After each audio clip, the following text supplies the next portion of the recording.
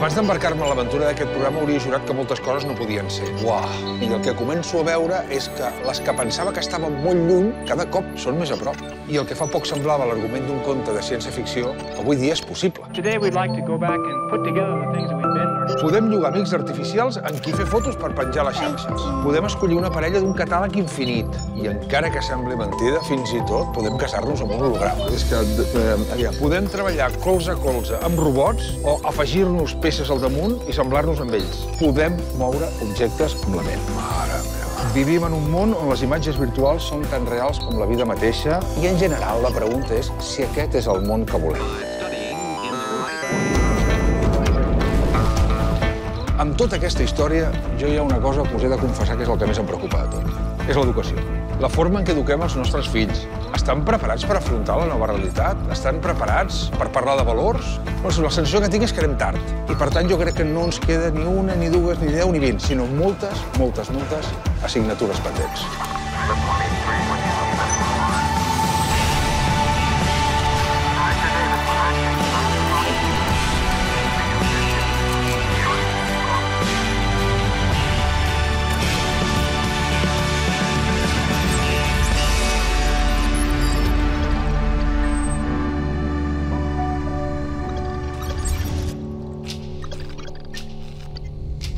En fi, que us he convocat aquí perquè pateixo com la majoria de pares sobre quin és el món que els hi deixarem als nostres fills i, per tant, hi ha un seguit de preguntes que m'agradaria trobar resposta i, sobretot, amb aquestes assignatures pendents que comencéssim a poder-les preparar.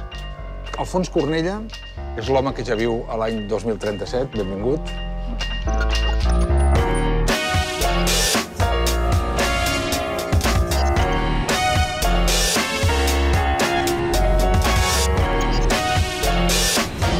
La Gemma Galdón és una polemista amb ètica. Gràcies, Gemma, per ser amb nosaltres. A vosaltres.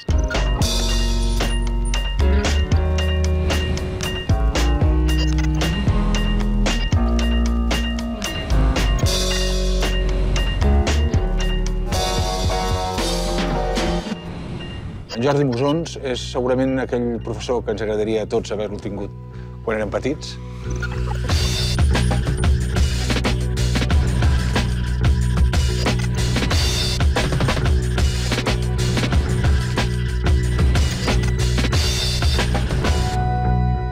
I la Susana Lluna és una mare de les poques mares que sap més de tecnologia que els seus propis fills.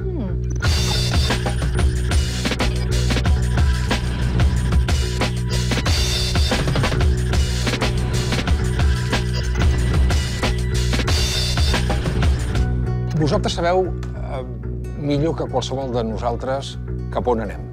Per tant, m'agradaria que ens poguéssiu ajudar tots plegats. Comencem?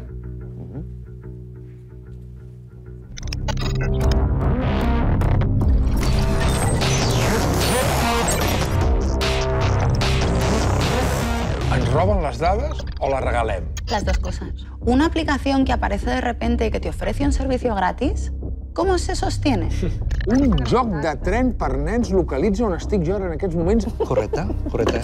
Estic copiant Estàs copiant, sí, fa les coordinades i aquí és on estem ara mateix. Oh! tu acceptes no tenir pràcticament privacitat. Parlem del fundador de Facebook, Mark Zuckerberg, sota l'ull de l'huracà per la filtració de dades de 87 milions d'usuaris.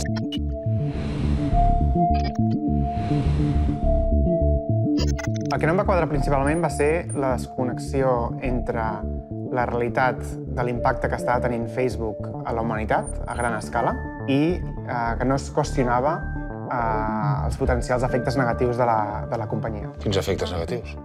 L'addicció,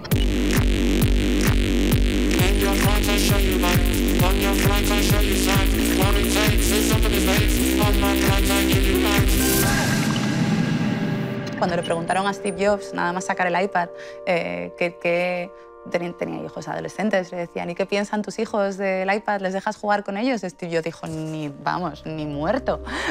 Mis hijos no tocan el iPad.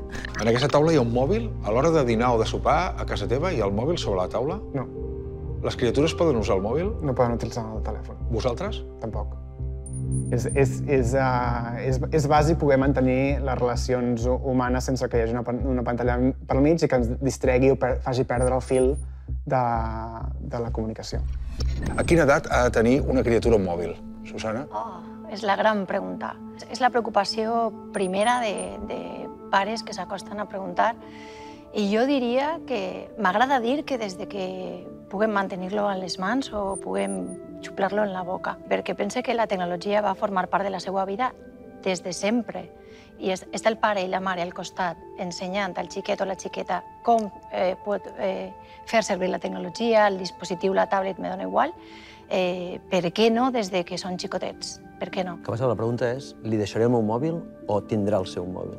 És que aquest matís és molt important. Llavors respon les dues preguntes. Faria una pregunta jo diferent. Al teu fill o la teva filla, amb 10 anys, li donaries les claus del cotxe perquè el condueixi. No fa falta ni que et contesti. Però per què no? Perquè hi ha una llei que diu que no i perquè tu segurament no la veus preparada perquè pugui conduir sola. Per què amb un mòbil no veiem aquesta, aquesta problemàtica? Encara que pugui tenir accés indefinit a mil coses que ella no està preparada encara per gestionar. Ho veiem amb normalitat. O per què nens i nenes de 6, 7, 8 anys estan jugant a un joc que es diu Fortnite en què l'edat recomanada no és els 12? Mm. Perquè li hem donat les claus per accedir a jocs que formalment hem acceptat de que no haurien d'accedir-hi. Per què veiem aquest registre tan diferent amb el que és la tecnologia, amb la infracció de la tecnologia? Per tant, no sé si hi ha una edat que és l'òptima, però que segurament estem deixant prematurament unes eines amb moltes bondats, però també amb moltes dificultats per ser gestionades de forma correcta en moments d'immaduresa. Jo penso que la pregunta també s'ha de matitzar en el sentit de depèn de com és el nen i la nena. És a dir, jo crec que la, les respostes genèriques no tenen cap sentit. O sigui, parlar dels nens en general, hi ha nens que són que estan preparats i que en poden treure un gran profit, d'altres que no han de tenir ni els 21. No em preocupa el mòbil, em preocupa el que hi ha dins del mòbil i em preocupa el que no siguem capaços, moltes vegades els pares, de saber quins són els instruments positius que podrien utilitzar, que realment augmentarien, eh, jo crec que en alguns casos de manera molt substancial, les possibilitats d'aquella persona. Ja? Jo no jutjaria cap pare ni cap mare, perquè em sembla que és duríssim no, no. ser pare i ser mare. Per cert, d'aquesta taula, qui és pare o mare? Jo. Jo no. Perfecte. L'única la, l'única que no és la Gemma. Endavant, Gemma, digues. Jo no m'atreviria a dir una edat i tampoc crec que estigui bé posar la responsabilitat d'aquest tipus de coses en els pares i les mares, perquè com a societat no tenim clar quines són les implicacions de cadascuna de les decisions. En molts altres àmbits no ens atreviríem a dir-los als pares i les mares que han de saber si una papilla té un element tòxic o no. Tots sabem que la papilla que compres, si la pots comprar, és que és sana, no? Amb tecnologia no, no hi ha aquest filtre i, per tant, estem posant els pares a prendre decisions per les quals no han estat formats. El que sí que sé, per exemple, és que les escoles d'elit, on van els fills i filles de la reialesa, estan prohibint les pantalles, perquè han vist que l'impacte sobre creativitat, imaginació, concentració, etc és molt negatiu. Hi haurà tecnologies que ens n'adonarem, quan ens passi aquest procés d'enamorament, ens n'adonarem que no les volem, com ens va passar amb Google Glass. No ho volem, no ens serveix, no ens aporta res positiu com a societat i, per tant, la descartem. Pot passar també amb el cotxe autònom, que decidim al final que el millor és un cotxe semiautònom. Per tant, crec que imaginar el futur és molt complicat perquè hi ha coses que desapareixeran i potser les pantalles de l'escola són una d'elles. Ho podem enllaçar amb el que comentava l'Elias Campo. L'Elias Campo, que va començar treballant a Palo Alto a WhatsApp, va deixar WhatsApp perquè no estava d'acord amb Mark Zuckerberg, però se'n va anar a Telegram i ara resulta que la família ha decidit que en moments puntuals té, té un accés limitat al que és les, les tecnologies. Sembla, que sembla com, com un fet com pertorbador, no? És com si un empresari de la llet digués, escolta, els meus nens no veuen llet. Home, tenim un problema, no? Però això passa constantment. El Mark Zuckerberg prescriu la fi de la privacitat per tothom i ell es compra les 13 cases que, que estan al voltant de casa seva perquè amb ell no el pugui veure ningú. És a dir, hi ha una dinàmica en la qual ens estan prescrivint a la resta de la societat les coses que ells saben que per ells no voldrien. I això crec que és preocupant. De totes maneres, no podem dinamitzar la, la tecnologia per ser. Vull dir que crec que treure l'escola també és absurd. El tema és com eduquem per l'ús racional de la tecnologia i en quins moments té sentit dintre d'una aula com el té sentit dintre de la casa. La dificultat és la racionalització d'aquest ús de la tecnologia. O sigui que la pregunta no és tant si són addictes o dependents perquè és la màquina la que els està xuclant, o que no estem fent bé les coses, els que estem al seu voltant, i, per tant, allà troba una excusa i troba un por en el que s'hi posa.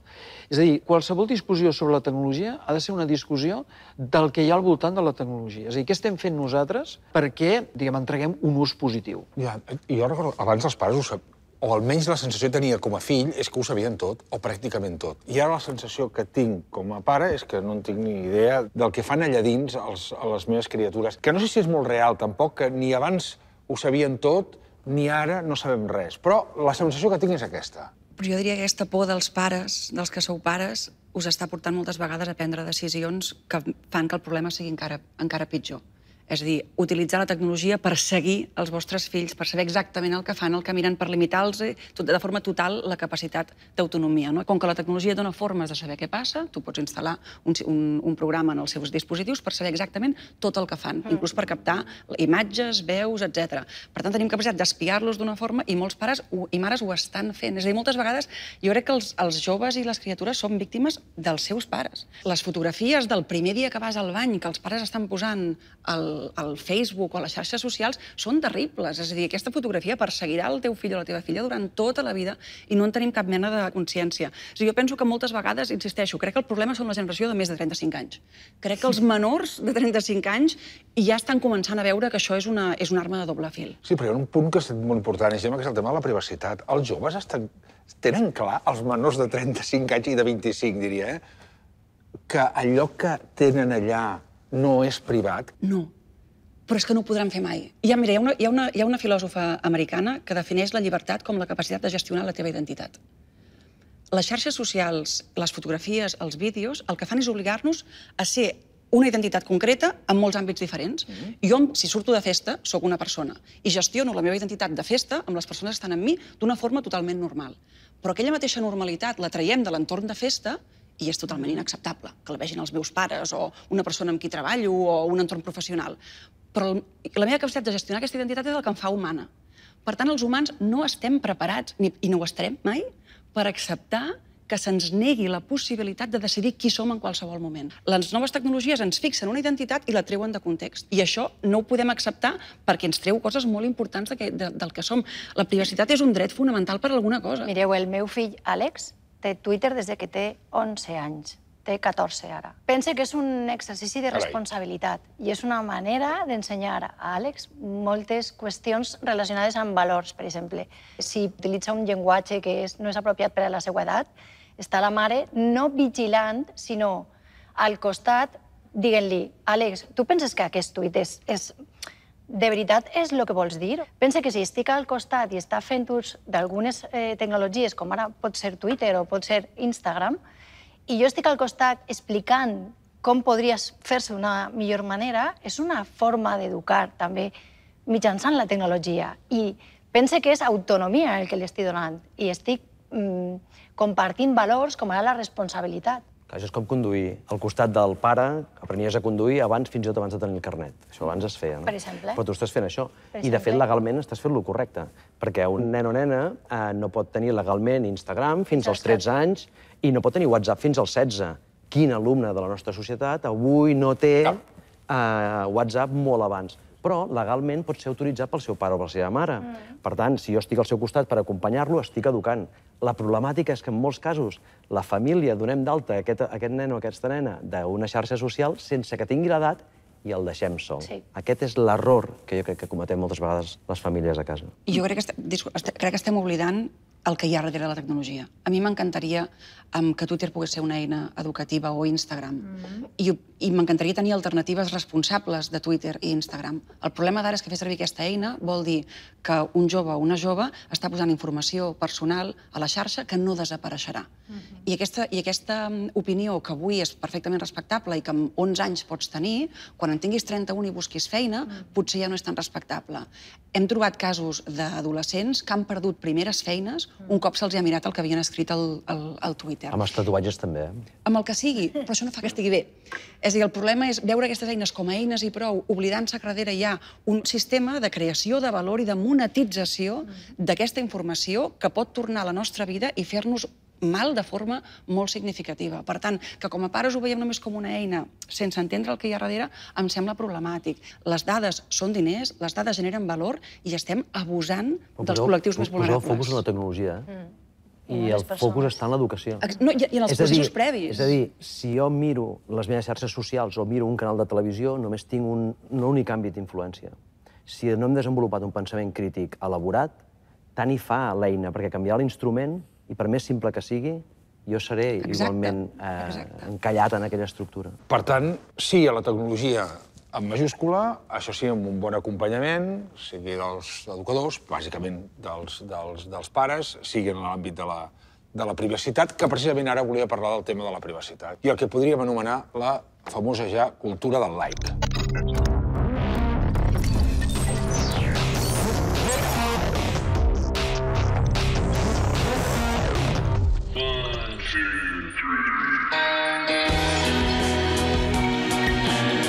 És evident que la relació entre les persones al món ha canviat i ara tots plegats ens comuniquem qui més qui menys a través d'aquesta parella, a través del telèfon mòbil. I la qüestió ja no és eh, tenir amics, és semblar que entens, sigui com sigui. Al Japó es lloguen amics. Per què estàs buscant un amic o una amiga?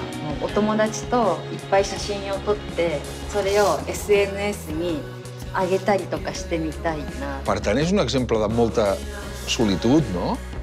あの冷静に考えると寂しい部分はあるんですけどでも今回は割り切ってあのお金で自分の自信を買いたいなと思いました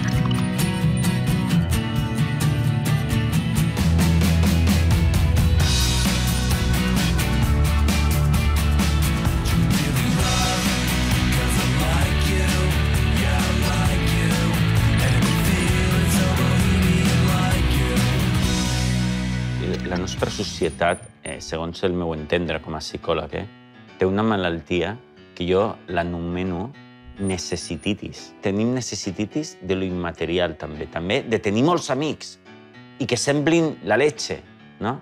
Llavors, la necessititis d'amistat també produeix un bloqueig. Soc incapaç de relacionar-me d'una manera normal. We're only at the beginning of this kind of suffering where we have people that are very connected, but they're very lonely, or they're living in a simulation. You're very popular on Instagram, but in real life you don't exist. Nobody cares. Ets molt popular a Instagram. Hi ha una cançó d'un duet català que es diu Arnau Griso que diu «Cuando tu popularidad se mide en likes», dedicat a l'adolescència.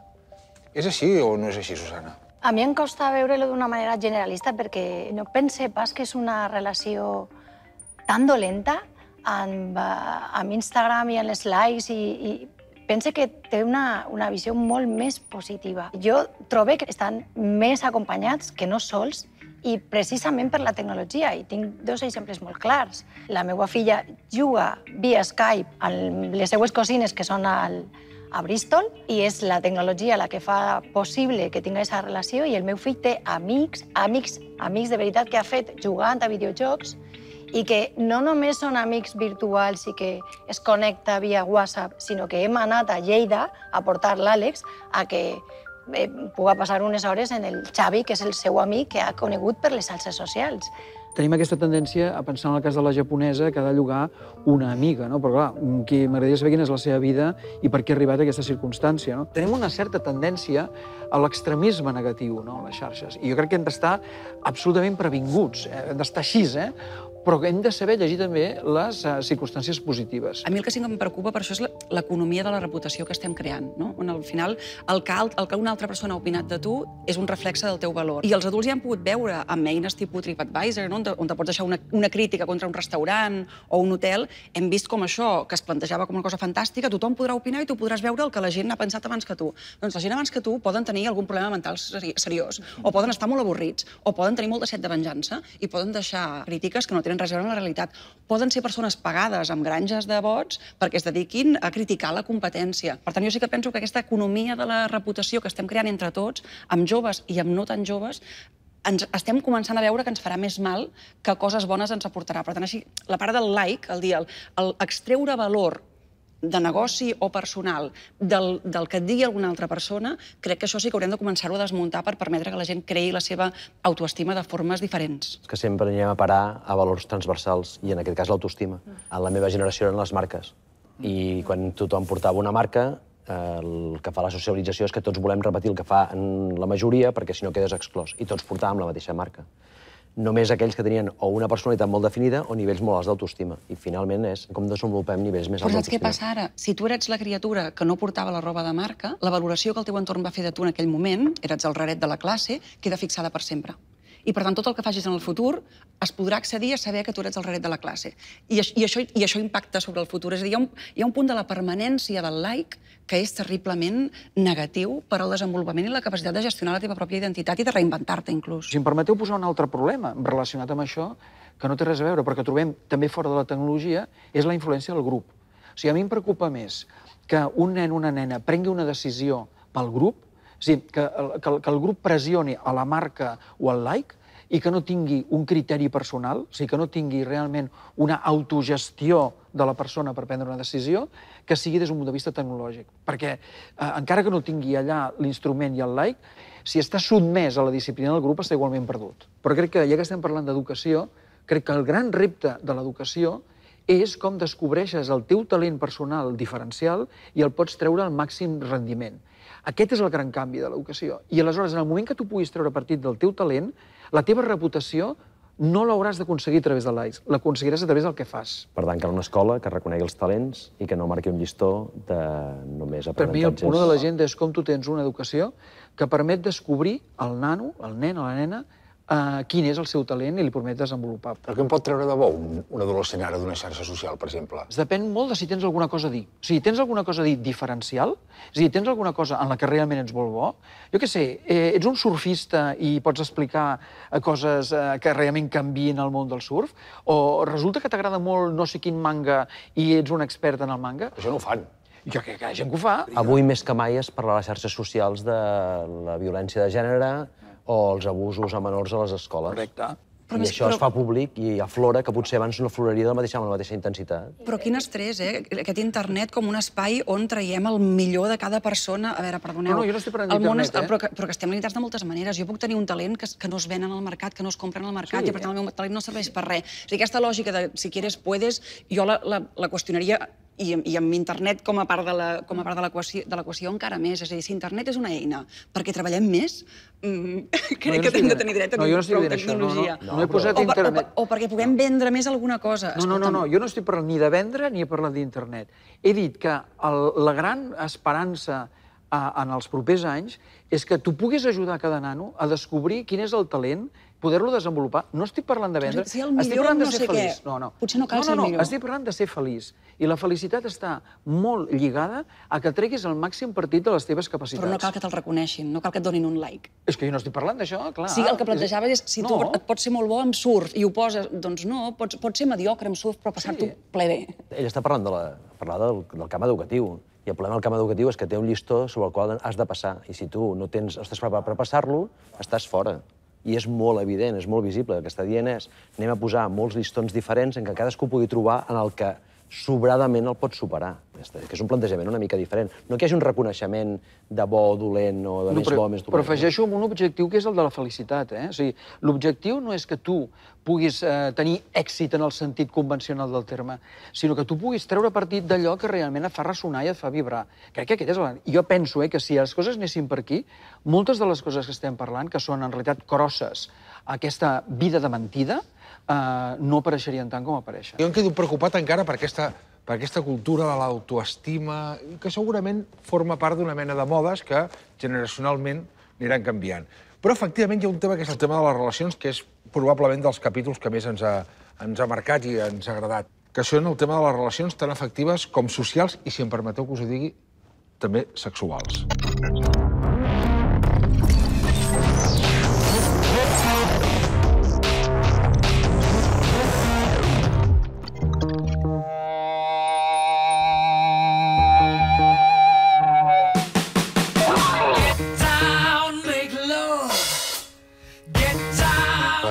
I hit chat, she will come to life. Hi, babe. How are you this afternoon? Consideres que algun dia ens podrem arribar a enamorar? Uh, yes, I do.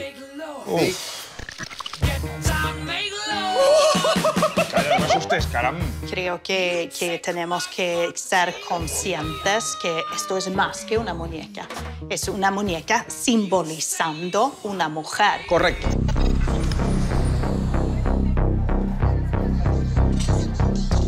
Això que estem veient és un anunci.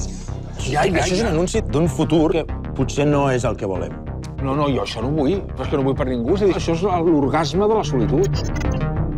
eh, hem de convenir tu i jo que és una relació estranya, sí o no? まあそれはあの世間からすれば普通じゃないと思いますけども私が愛しているのでまああの普通じゃなくても Això és amor. He vist la Nina molt servicial. Li pots donar a través d'aquesta aplicació més caràcter, per exemple? So, for example, I want to make her more jealous and make her insecure. Is it okay if I talk to another girl? Would you like if I did that to you? No. I will be here if you need. El que em plantejo és que com reaccionarà aquesta persona, què passi si algú només manté relacions o en una etapa formativa de la seva vida manté relacions només amb màquines, després pensarà que pot tractar les persones igual que pot tractar les màquines. Això és un problema de cara a relacions futures. Interessantíssim. És dir, clar, aquí la pregunta, eh? què passa, com deia el Ganyet, eh? què passa si algú només manté relacions amb robots en l'etapa formativa de la seva vida? Per tant, al fons, la tecnologia deshumanitza les relacions? Depèn eh, d'en quin moment de la història et poses. Si jo dic, per exemple, que la realitat és un cas particular de la virtualitat, és a dir, que l'experiència real que tenim ara, que és la que nosaltres vivim cada dia, eh, d'aquí uns anys serà una part de la nostra vida i que una altra part de la nostra vida la viurem de forma absolutament virtual, doncs tots els que estem aquí ens esgarrifarem. Sí. És, és el que ha dit aquest japonès, eh? que no estic d'acord, però penso que, que ens hem de començar a preparar per situacions absolutament inversemblants en les que en la nostra vida el concepte realitat eh, té moltes altres variables. Vols dir que arribarem a considerar normal que una persona es pugui casar amb un holograma? És que tu estàs pensant en els hologrames que tenim avui, no? I, i no estàs pensant en les simulacions que podem haver en el futur. A dir, no és que jo estigui d'acord amb això, però penso que és molt difícil en aquests moments posicionar-se a favor o en contra d'una cosa de la que no en sabem més que els, els inicis més eh, prehistòrics, quasi diríem. Jo crec que parlar de normalitat no ens ajuda gaire. La humanitat s'adapta al que sigui, per desgràcia. La gent s'adapta a viure en entorns no democràtics. Això no vol dir que siguin desitjables. Jo crec que la responsabilitat que tenim és determinar, ser capaços d'imaginar el futur i decidir què és desitjable i què no és desitjable. I a partir d'aquí entendrem que la tecnologia no és mai neutral. Tendim a parlar molt de la tecnologia com si fos una eina. La tecnologia és tan neutral com la gent que la crea i que la codifica. No és neutral que les nines sexuals siguin sempre dones. No és neutral que els assistents personals tinguin sempre veu de dona. La tecnologia el que fa és recollir els valors socials positius i negatius, com el masclisme, i reproduir-los. I en aquesta reproducció moltes vegades el que fa és empitjorar-los. És el que deia l'Èrica Luz, pot preguntar, ho hem de prohibir, llavors?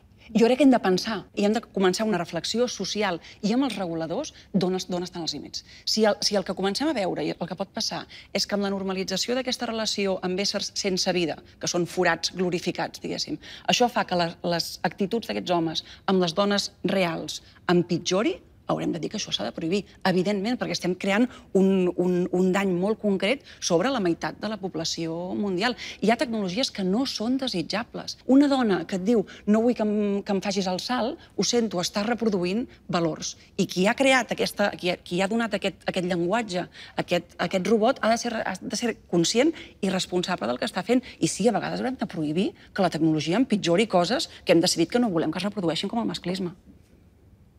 No, jo només volia aclarar que estic totalment d'acord amb tu, però jo no estic parlant en concret d'aquestes nines sexuals. Però mullat, és desitjable? No. És, és, que és, molt, és que és molt senzill No, dir, de, definir la realitat. Mm. Crec que com a societat tenim el deure, per als que venen després de nosaltres, de decidir si és desitjable. No, un moment, un moment.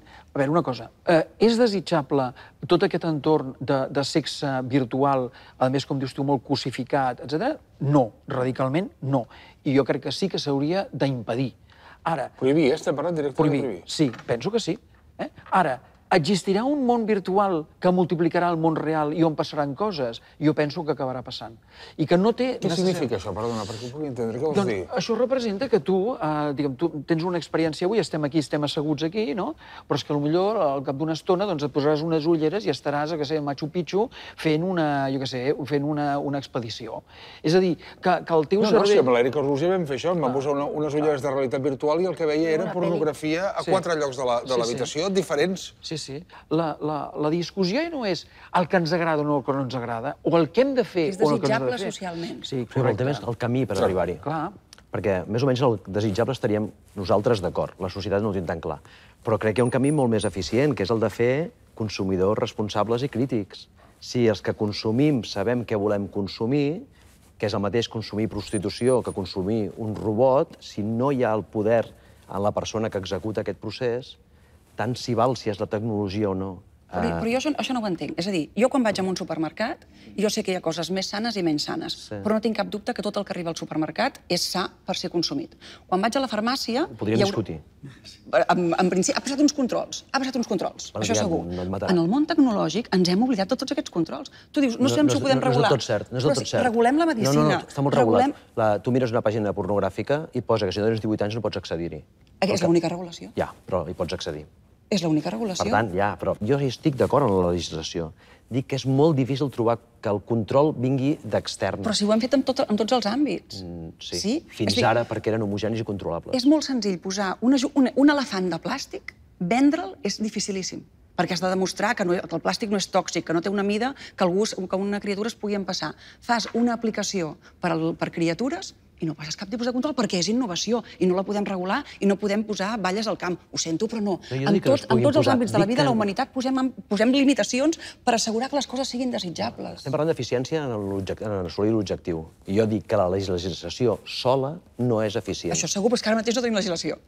En tenim molt poca. En tenim molt poca, però si no hi ha un desenvolupament de les habilitats personals, difícilment avançarem. Segur. Jo quan I vaig una al supermer- consciència col·lectiva. Jo al supermercat he de saber el que he de comprar, però m'han de garantir que el que arriba al supermercat és, és, és sa per la, pel consum humà. Si no, em deixen totalment desprotegit. M'he apuntat algunes coses. Primera, el tema de la regulació. El, si alguna cosa durant aquests mesos he comprovat és que la legislació és lenta com el cavall del dolent i la tecnologia va ràpida i això sí que és un dels temes que haurem d'arreglar. Aquesta és una. I l'altra que, que jo crec que és la preocupació que en general es nota més amb el tema de la sexualitat i de la cosificació eterna de la, la cosificació eterna de la dona.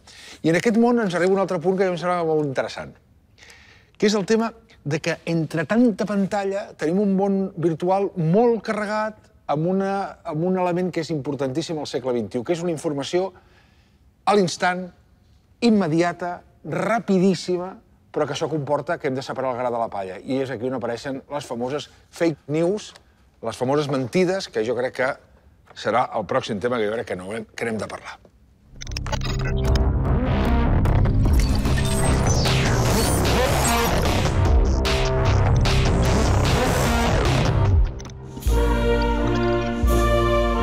Buenas noches. Estamos viviendo momentos muy graves para nuestra vida democrática y en estas circunstancias quiero dirigirme directamente a todos los españoles. Esta tarde he comunicado al presidente del gobierno mi intención de abdicar de manera inmediata. Bé, això que hem vist ara és un deepfake. Val? És una tecnologia basada en un algoritme d'intel·ligència artificial. És una manipulació pura i dura. President Trump is a total and complete dipshit. You see, I would never say these things, at least not in a public address, but someone else would. Someone like Jordan Peele. Clar, però això en poc temps pot ser que sigui perfecte, o això ho podríeu convertir gairebé en una perfecció. Correcte. Sí. I això és molt perillós. Uh, això és, obre un altre debat, que és quina credibilitat donem a les xarxes socials. Jo crec que realment la, la solució real amb aquest problema, com a mínim tal com ho veig jo, és, passa per l'educació, educar la gent. Educar la gent que els paradigmes, el que és les referències, estan canviant. Hi ha quatre pilons bàsics de l'educació que s'haurien de, de, de fer pel, pel, perquè la gent estigui preparats pel futur. No? Una és la, el pensament crític, el critical thinking, l'altra és la comunicació, l'altra és la creativitat, i l'altra és la cooperació, no? o sigui, treballar junts, i, i això són els quatre pilars. A partir d'aquí, tota la part especialitzada ja l'aprendrà la gent després. Però la base... La base filosòfica per entendre ser aquests la base quatre ha de ser punts. aquesta. Jo afegiria una altra que comencen fer, també, que és curiositat, o sigui, la, les, les ganes d'aprendre, el preguntar-se per què això és d'aquesta manera i no d'una altra. El problema és que ens creiem del que passa a les xarxes i que no ens creiem. Susana, eh, tu creus que els nens són capaços de distingir entre el que és real o el que no és real? O... No, no, no ho crec. I, i a més a més, eh, heu vist que a sovint a casa perquè la xiqueta ve i diu «Mamà, saps que a la Roma al segle XX va passar no sé què?» I la meva pregunta sempre és «I això com ho saps?» Perquè ho he vist en un vídeo a YouTube. I per què? Eh, la frase aquesta que fem servir de buscar a Google té un perill brutal, perquè donem per, per supòs que la primera o la segona o la tercera opció que hi ha a Google per als nens és la bona. I no. Ara que parlaves de Google, per exemple, el Jordi, tu que ets director d'una escola que feu servir tauletes, Google quin paper té en l'educació? El mateix que pels adults. És que, quan tu deies ara de que els nanos no saben fer servir Google perquè miren les tres primeres Mm. opcions, i els adults? I el- Vull, vull dir que, Sí. que no tinc tan clar que la societat estiguem tota preparada per això, sempre estem igual. Jo tinc un mal costum, que és que em llevo cada dia al matí i esmorzo amb Telecinco, faig el sopar amb la Sexta, i al vespre, quan els És un meus fills dormen, costum. miro les notícies a TV3. Hi ha molts centres educatius, tu abans ho deies, no? que potser no hem de tenir tecnologia, però molts centres educatius que no implanten la tecnologia dintre del centre. Per tant, que la veu oficial és la del mestre. En un món com l'actual no té sentit que la veritat única la tingui el mestre. I justament jo crec que els alumnes han d'estar acostumats a contrastar la informació fins i tot dels propis docents. Com pot ser que avui la prova de selectivitat no inclogui tecnologia? Que no puguis fer servir determinades eh, calculadores? En quin món educatiu vivim i en quin món real vivim? Crec que la cosa és més complexa de si seleccionem la primera resposta o no. Uh, crec que eh, si hem desenvolupat una mirada crítica sobre tot allò que consumim i cada vegada serà més necessari perquè cada vegada és més fàcil falsificar la veritat. Jo penso que, que evidentment, aquí, com tot, l'educació té una funció, però sóc una mica més escèptic. Tu imagina que comences un dia a una sessió a l'escola dient avui això va de Napoleó, no? Tot el dia. I aleshores avui discutirem si Napoleó era bo o era dolent. La frase el Napoleó era bo o dolent és que té les dues respostes. És a dir, perquè hi ha coses eh, que fan, va fer extraordinàriament interessants i ha coses van ser un desastre i van morir milions de persones per culpa seva. Aleshores, eh, si tu vas a Google avui i busques Napoleó, eh, trobaràs un relat, una explicació feta segurament des de les dues direccions. Però el que no pots fer és que les respostes siguin ja tan senzilles com sí o no, sinó que la resposta ha de ser una elaboració crítica a partir de tota una sèrie de fonts que has de saber elaborar. Gemma. Jo crec que els deepfakes són un, un bon espai per pensar en la necessitat de començar a implementar el principi de precaució en qualsevol desenvolupament tecnològic. És a dir, els deepfakes que no informin de que són deepfakes haurien d'estar prohibits. De forma claríssima. És a dir, tu sigui, has... això que hem fet ara, aquí, aquesta prova, posar, això és un deepfake. Evidentment, amb això i també amb els anuncis. Um, una cosa que ha passat recentment és que tots els influencers han, han après que si fa, estan fent publicitat han d'identificar clarament la publicitat com a, com, a, com a publicitat i no fer veure que és que realment estan fent servir un producte que, I molt que els bé. agrada molt. Amb deepfakes és el mateix. És el dret a que ens informin de què està passant, quins són els processos de dades que hi ha darrere tot això que fem. Perquè a mi m'agradaria molt pensar... Però això no que... pot passar també amb els programes teòricament d'humor? Clar, i, i, i per això I anunciar més un programa d'humor? Sí que ho fas, sí que ho fas. Deixes molt clar, crees un marc en el que és molt clar que és un programa d'humor. Les comptes de Twitter, que són paròdia, ja, per cobrir-se legalment, ja diuen paròdia. Paròdies. Precisament perquè jo penso, a mi m'encantaria pensar que en el futur serem una societat molt més crítica gràcies a tot això. Si descobrir que una imatge no val més que mil paraules, ens dona l'oportunitat de valorar aquestes mil paraules de formes fantàstiques, meravelloses. Però em temo que aquest és un dels futurs possibles. Un altre futur possible és que som una societat molt més manipulable i que ens creiem que una imatge val més sempre que més pa mil paraules i aquesta imatge trucada ens la colen sense cap mena de control. Per tant, sabent que hi ha dos futurs possibles, protegim a les persones i que tinguin dret a saber d'on venen d'on ve aquest tipus d'informació. Més manipulables que mai, tinc dubtes. No ho sé, no ho sé, Ah, però, la però més manipulable La sí. generació del meu avi tenia un únic diari i no tenia mitjans de comunicació. I, a més a més, el règim li deia, li deia el que havia de pensar. Vull dir que això sempre seria... Ostres, mira, però un molt bon exemple. Però que anirà en contra, jo vaig a venir. Però, un, però, però, és- però és que jo penso... Ara, mira, jo, jo sóc molt crítica amb els mitjans de comunicació. Um, quan jo creixia teníem dos, tres diaris que manipulaven. Però sabies com et manipulaven. Sabíem que amb certs diaris, la part internacional, millor no lle- llegir-la. Que amb altres diaris, la part d'economia, millor no llegir-la. Em van entrar a les xarxes socials, ens vam creure que aquesta possibilitat de, que- de que tots féssim notícies ens portaria a una major democratització dels mitjans de comunicació i ara hem acabat amb deepfakes, manipulació, amb joc brut amb eleccions, perversió del procés democràtic. Jo gairebé preferiria tornar als tres mitjans de comunicació que sé de quin peu calcen, Gemma. que tenir que tenir Que no vull fer de tertulià. que tenir tanta, tanta, tanta informació a disposició que no tinc clar quines motivacions tenen. Com, com que tu parteixes de la base de que nosaltres tenim esperit crític per saber veure aquests tres mitjans, doncs avui més que mai disposem d'infinites fonts d'informació en les que podem contrastar. Per tant, tenim el valor de, el valor de poder-ho fer. I justament, jo si penso enrere i miro la meva època, jo em feien fer un treball, i recordo un perquè el tinc molt gravat a vuitè, sobre el petroli. Jo anava a la biblioteca, agafava l'únic llibre que hi havia de la biblioteca, una com aquesta, i apuntava i copiava sense pensar ni plantejar-me si el que m'estaven explicant era bé. Per tant, justament ara se'ns ha obert la possibilitat de contrastar, però hem de tenir l'actitud de voler-ho fer. Alfons. Jo, sobre el tema de la, de la regulació, estic sí i no d'acord, eh? perquè la regulació en tecnologia està demostrat que no és la solució històricament. És a dir, quan estem parlant d'objectes físics que són clarament determinables en l'espai i el temps, pots regular-lo, però quan resulta que tens una cosa que és la informació que es replica de manera incontrolable i que quan tens un, un bit aquí es pot replicar de manera infinita que és el, una mica el títol de la discussió, la informació infinita, el, la possibilitat de regular aquesta replicació és molt més complexa. Si hem aconseguit que les influencers no facin publicitat sense informar que és publicitat, jo crec que és evident que podem crear els incentius perquè hi hagi regulació i perquè hi hagi auto autorregulació efectiva. Jordi. Fent un pas enrere, crec que els mitjans s'han de comprometre en l'educació. No s'hi val que els, els, els mitjans quedin fora. Sense l'educació dels mitjans, l'escola no pot fer res. I en segon lloc, crec que l'escola s'ha de comprometre amb l'anàlisi crítica de mitjans. Els alumnes han d'aprendre a distingir què ha estat manipulat o què no. Vingui'm senyal verd o vermell. Han de saber què ha passat per Photoshop o, què, o, o com eh, un, diferents mitjans diuen el mateix titular. I crec que això sí que s'ha de treballar molt intensament dintre les escoles. Escolta, estem a la Biblioteca de Catalunya, que és un lloc on alguns eh, venim i veníem quan estudiàvem en èpoques pretèrites i ens encantava estar en llocs com aquests. És a dir, a partir del moment que estàvem parlant sobre la informació accessible a través del Google i a través de la xarxa ho tens tot ràpid en el moment, com queden els llibres en tot aquest escenari? No, crec que el, que el llibre és un format. O sigui, el llibre en realitat és una manera concreta de posar informació i que, i que requereix un cert temps. El que passa és que el problema és que molts dels llibres són dolents. És a dir, en aquesta sala segurament hi ha molts llibres bons, però també hi ha molts llibres molt dolents.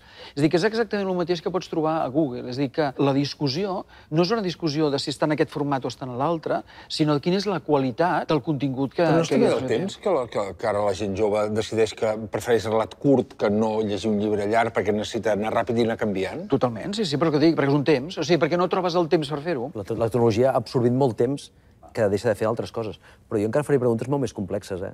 L'estructura educativa sustenta sobretot sobre la lectura i l'escriptura. Però l'escriptura realment existirà d'aquí molt pocs anys? És una bona pregunta. La cal·ligrafia? Quin sentit té l'ortografia i la cal·ligrafia? Que avui és impensable, eh? per tota la societat, per totes les famílies, seria impensable que una escola renunciï a això, però pot ser molt possible que si construíssim Sí, una sí. educació pensada en el 37, no, No, ha- hauríem de dedicar temps a això. No, hi ha escenaris que diuen que la gent deixarà de saber escriure.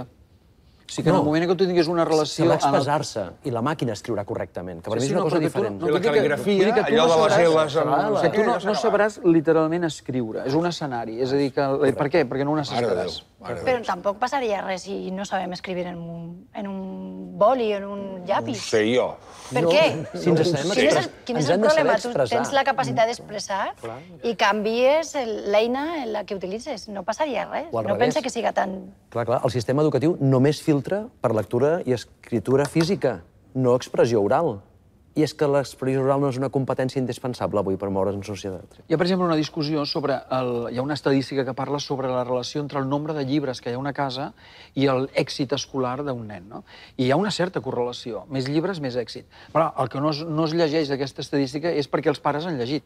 O sigui, que estiguis en un context familiar en el qual hi hagi hagut una certa debat mental, personal, sobre una qüestió. Per tant, has llegit, pots diguem, crear un cert esperit crític als teus fills. Hi ha un tema ara del sistema educatiu que realment a mi sí que em, que em preocupa. Arran de tot això que estem parlant, si no escrivim, si no llegim, estudiaran les meves filles per feines que acabaran fent els robots?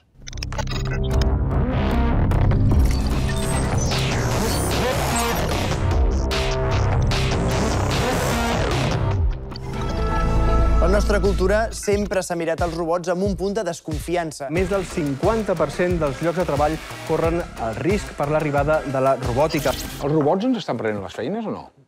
Jo no diria tant, algunes feines. Quines? Altres no tant. Bueno, les feines, per exemple, que, que impliquen unes tasques molt repetitives.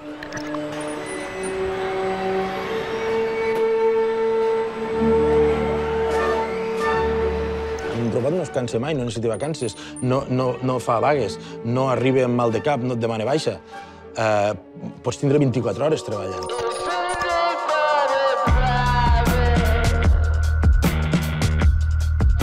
Aviam. Hosti, no pot ser. いらっしゃいませ変なホテルへようこそ Eh, Aquí sí que els robots substitueixen a les persones directament. なることはできるというふうに信じて私たちはやっている。 Per tant, mm, en els futurs anys hi haurà molta gent que perdrà el seu lloc de treball. Sí, això sembla. El que passa que tenim un problema aquí. A 10 anys vista ningú és capaç de dir, ningú, eh, és capaç de dir eh, quines tasques seran les necessàries. I això, clar, això planteja un problema enorme. A 10 anys vista, ningú serà capaç de dir quines tasques seran necessàries. Com estem a l'any 2037, Alfons t'he de preguntar que facis un spoiler i ens expliquis com serà la vida l'any 2037 i la feina. Doncs serà de persones multiplicades per màquines. És a dir, seran humans que una part important de la seva feina doncs, la faran amb una màquina. Eh? I llavors el, el, els estudis que hi ha en aquests moments diuen que si tu agafes l'activitat d'una persona, el treball d'una persona, i l'analitzes en què és el que fa, les activitats que fa, fa 20 o 30 coses, la meitat d'aquestes 20 o 30 coses podran ser fetes per una màquina. Aleshores, la clam pregunta és aquesta multiplicació com es fa i si es fa en positiu. Clar. O sigui, com augmentes, com augmentes una persona amb una màquina màquina per fer coses que realment poden treure més partit del que he dit abans del talent. Si som capaços de determinar el talent dels nanos i de posar-los les eines per poder desenvolupar, no només tindran un impacte social més gran, sinó que seran més feliços. Jo tinc la sensació, i treballo amb, amb, amb molts governs i, amb, i darrerament amb molts sindicats, amb temes de tecnologia i el que veig és molta por. I amb molts pares, també amb no, els meus fills, i ara què han d'aprendre? O sigui, jo sabia que hi havia unes carreres que feien la carrera i ara què han de fer? I jo crec que el, el canvi social, al final, també en tecnològic, és molt més llarg. Si parlar de la novetat de la tecnologia al món de treball, perdoneu, aneu al sector industrial de qualsevol país desenvolupat. Hi ha molts sectors que conviuen amb la tecnologia, amb exoesquelets, una cosa que ara... La SEAT, de la SEAT, la SEAT. La SEAT té exoesquelets des de fa molt temps. És a dir, ja hi ha moltes, ja hi ha moltes professions que han nascut sent una interacció entre humà i màquina. Els teleoperadors són una interacció entre humà i màquines. Estem parlant d'això. El canvi és molt més lent. No hi ha una quarta revolució industrial no hem canviat les bases materials del que significa el treball. Tots seguim, i sembla que seguirem, venent la nostra força de treball, física o intel·lectual, per aconseguir uns diners que ens permetran pagar el lloguer. És a dir, podem tenir les capacitats de que un avió voli sol, però humanament jo necessitem necessito, sí, necessito que hi hagi una persona. Per tant, per si de cas. entendre aquesta interacció crec que és molt important i transmetre també tranquil·litat, que els canvis significatius prenen molt de temps. Sí que haurem de canviar algunes de les capacitats que tenim, però estem desenvolupant la forma d'aprendre. Per l'educació no podem esperar. Eh? Estem pensant en el futur molt immediat d'aquests nens i nenes. Però, però encara no sabem aquests nens i nenes el futur immediat que els hi demana. O si, I quan ho hem sapigut, no ho hem sabut implementar. Fa temps que sabem que les ciències socials són molt importants en el món tecnològic. La formació que estem donant avui ja és obsoleta per avui, eh? Però la, però, però la gent, a veure, la gent amb aquesta educació és capaç de ser feliç i trobar feina? Perquè per mi la pregunta és aquesta. No, mira, fàcil, 20% de, de, de depressió a l'estat espanyol. Per tant, si l'escola no dedica espais de gestió emocional, no serem més feliços. Jo penso que els treballs que tindran dins de 10-15 anys ara no existeixen, però sí que tinc clar que hi ha una sèrie de competències que seran necessàries, siga la que siga la tasca que, que tinguin que fer. Col·laboració, eh, treballar remotament, per exemple, saber gestionar bé la informació, seran tasques que sí que van necessitar, me'n dona igual si és advocat o metge o el que siga, però un tema de competències front a tasques sí que crec que és molt important. A mi em preocupa com encara la societat entén l'educació. Quan la nostra societat va al metge, espera que el metge tingui els màxims coneixements de l'últim moment que han sortit al mercat sobre medicina. En educació encara esperem tenir l'expectativa que l'escola segueixi oferint un model com el que jo vaig viure i qualsevol cosa que surti d'això encara ens fa, ens fa basar. La persona jo estava preocupat per la, per la cal·ligrafia. Just això. I no hi ha cap nen al món que es preocupi per la cal·ligrafia en aquest moment. I en canvi el dentista, si et tragués les tanalles de fa 100 anys, no. marxaries corrents. No, ja, ja me, ah. me costa anar, doncs imagina't. pues just, just amb això, no? Jo, jo vaig anar a l'escola i em van dir que si estudiava molt i m'esforçava, provaria, em trauria la selectivitat, faria una carrera i trobaria feina per tota la vida. I encara mantenim una escola amb la mateixa lògica i els infants que ara estan a les escoles canviaran entre 20 o 40 vegades de feina i mm, les feines que existeixen ara en quedaran entre el 40 i el 70%. Amb aquesta lògica, l'escola no s'ha de modificar, s'ha de transformar com un mitjó. Les expectatives que necessiten aquests nois i noies són radicalment diferents i, per tant, han de ser uns competents amb la flexibilitat, l'autonomia, la cooperació, eh, l'empatia, el lideratge, i això vol dir deixar de treballar per matèries, que és com hem començat, vol dir deixar de treballar amb la lògica de memorització d'informació que la puc trobar a molts altres llocs, en construir, en crear, en imaginar. Potser la lògica de l'any 3000, l'escola serà l'espai per aprendre a estar bé i ser feliç. i potser, a més a més, treballarem. I això, Jordi, ho notes que comença a canviar l'escola o no? Uh, molt lentament. L'escola és pràcticament la mateixa que fa dos segles. I per tota la societat aquests canvis són difícils. I els, nens, gestionat... I els nens no són iguals que el que fa dos segles, Home. ni els pares. No, no, jo, clar, els pares no sé si són tan diferents.